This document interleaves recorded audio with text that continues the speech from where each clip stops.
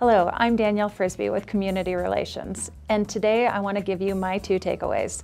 The first is that Casino Night is going strong for August 20th. All sponsorships have been filled. Second, there's a September coat drive for Springs Rescue Mission. Please bring gently used or new coats to the PPAR office on Tejon Street. Have a wonderful week and please join us next month on the first Wednesday for our next meeting.